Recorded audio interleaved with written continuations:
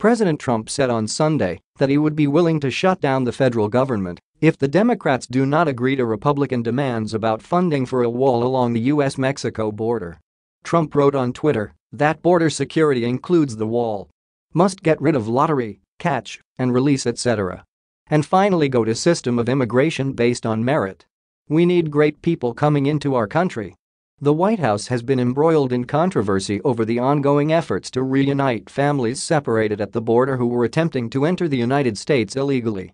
During his most recent weekly address, Trump cited the 9/11 terrorist attacks to justify strong enforcement of immigration laws and the continued necessity of Immigration Customs and Enforcement, the agency which has come under fire from Democrats in recent months. One of the critical lessons of 9-11 is that immigration enforcement saves lives, he said in the address. We must enforce the rules against visa fraud, illegal overstay, illegal entry and other immigration violations and crimes, and crimes they are. Believe me, crimes they are.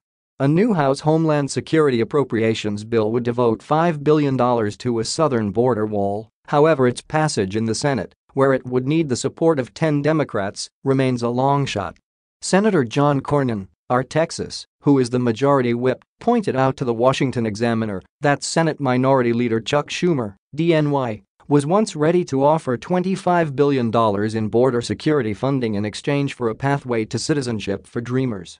However, Schumer has since withdrawn that offer, which at the time was rejected by Republicans and President Trump, who wanted additional immigration reforms.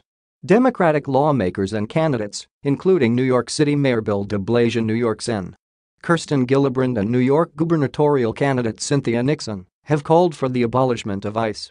In April, Trump threatened to shut down the government during a rally in Michigan, stating that more money was needed to fund the border wall. We come up again on September 28, and if we don't get border security we will have no choice, we will close down the country, because we need border security, he said, according to Reuters. The federal government shut down briefly for three days in January after lawmakers could not agree on funding for immigration reform, border security and disaster relief.